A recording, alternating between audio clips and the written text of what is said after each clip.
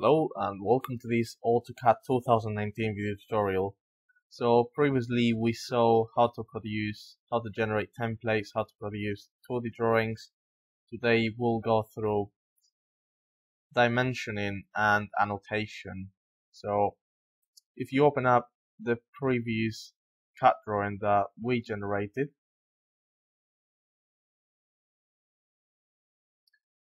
now just a quick recap before we start.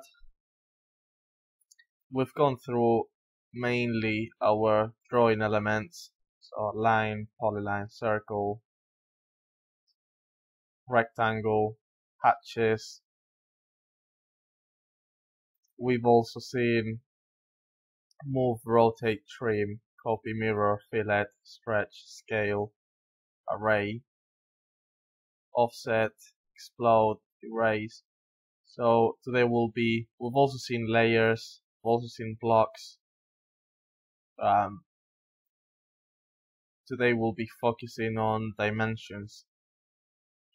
So let's suppose that we want to dimension this part. So probably the best way of doing it is if we click here on dimension or we type DIM you can just select the item. So let's say I can start with the bigger one. So you can place it inside or outside. You can switch from as you can see at the bottom of the screen on the command line you can switch to radius by pressing R enter so if I press R enter I can enter the radius I press I press D enter D enter and switch to the diameter. So I'll use this view to place my diameters.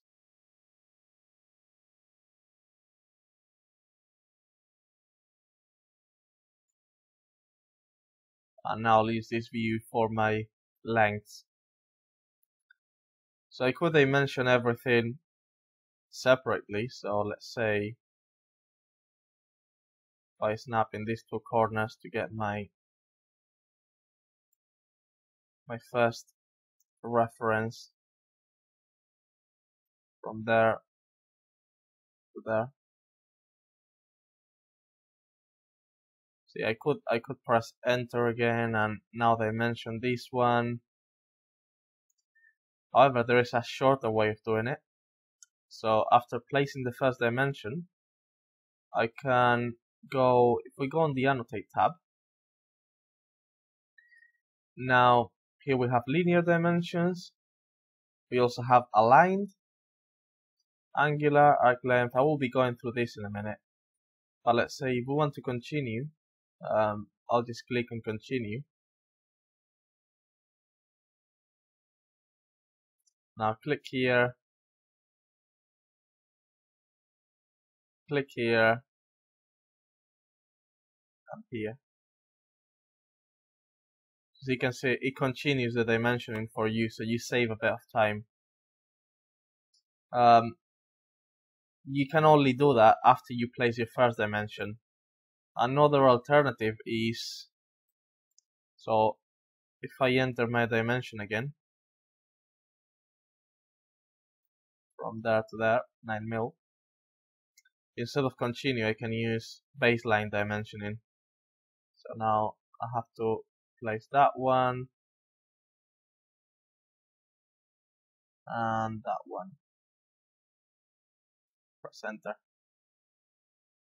It's probably more elegant doing it this way and very simple as well. And now I can just dimension my my fillets. Sorry, my chamfers. So you can either type in a dimension here.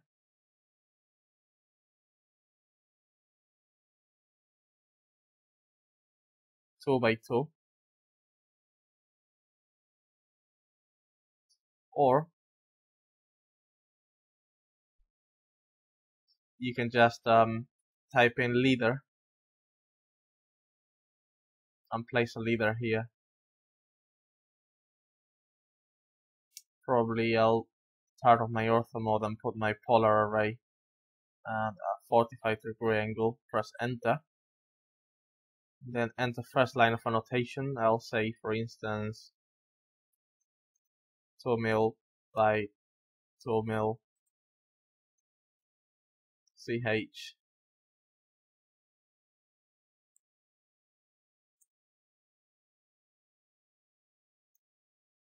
and then I can apply the same on this one. Enter 1 mil by 1 mil page. I can now move this down if I wish in order to make it more elegant.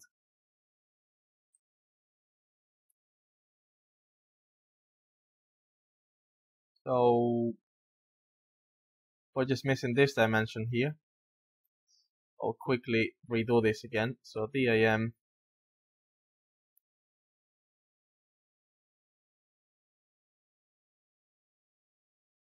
So here to here. And now baseline dimensioning up to here, up to here, and up to here.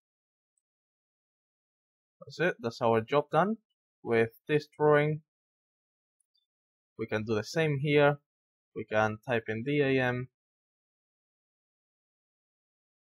30 mil diameter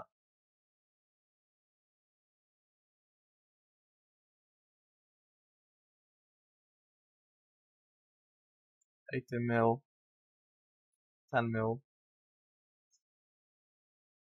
And now we can dimension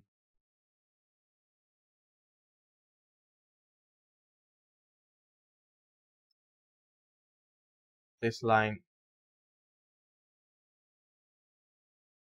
and this one.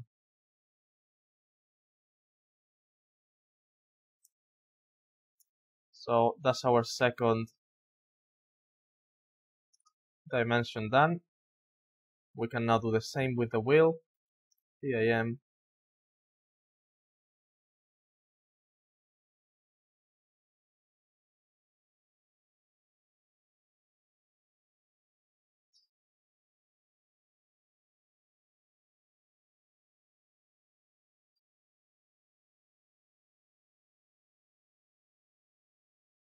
you can also do um, jogged dimensions like this one.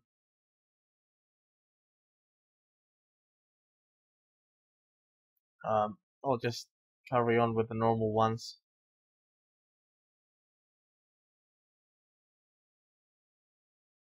So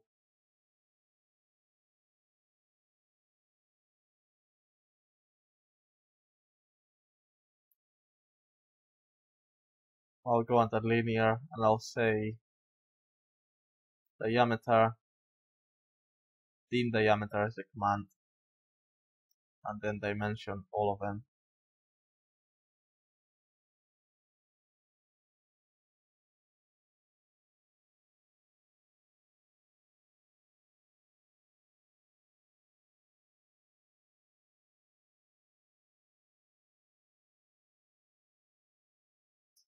and now I can do the same with this one. I can dimension my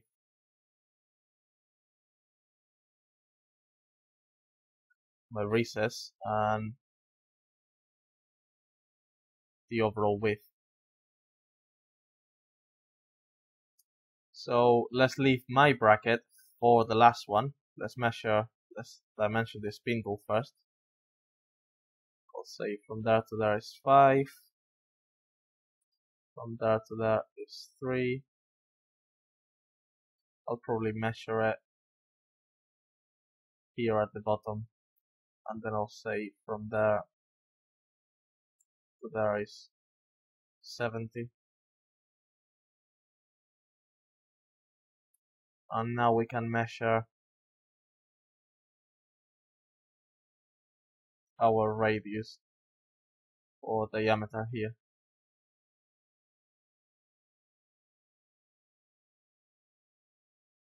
So I'll type in dim diameter.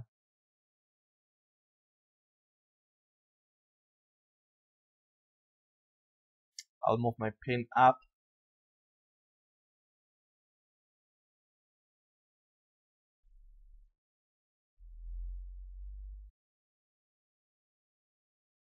I can do the same, DIM. Measure the length of it. 20 mil. Dim dia.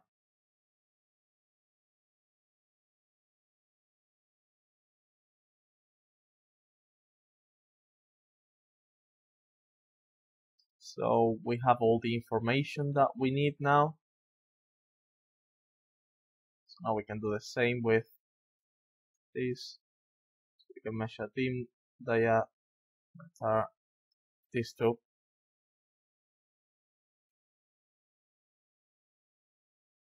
This one um, measure the thickness of it.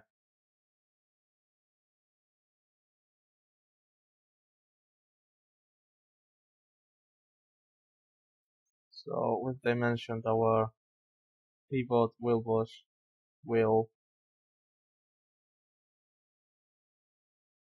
Pin spindle. Our washer.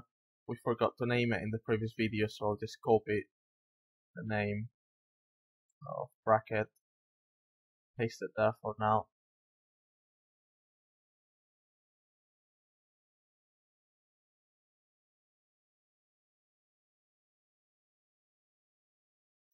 Okay, and now we can proceed to measure our bracket.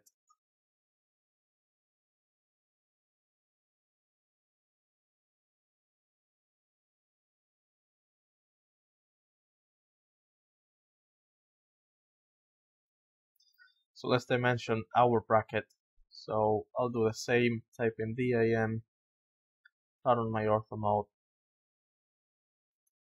From there to that, is 5 from there to that is 50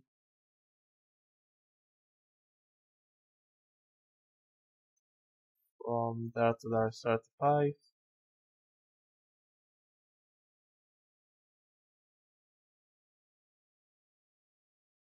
from there to there uh, 70 17.5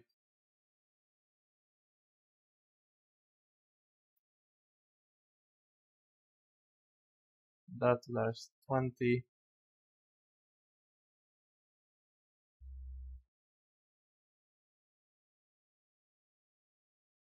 that there's 80 this gap is 7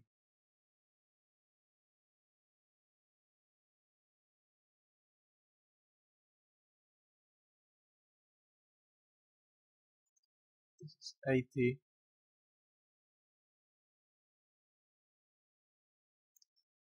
now we also need to provide the thickness of this which is 5 uh, the size of this radius. So I'll use dim diameter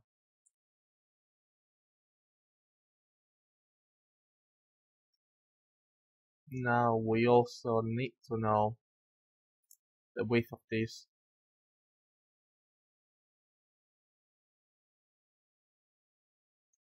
We also need to know these two radiuses. So that's 5 mil. Um, that's 10 and we also need to know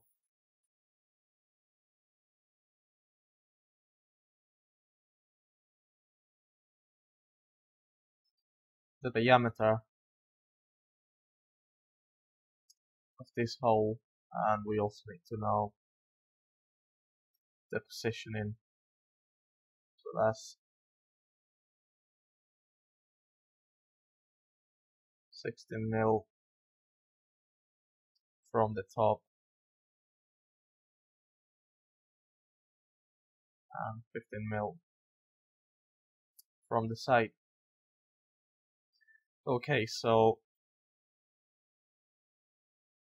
we have our features fully dimensioned.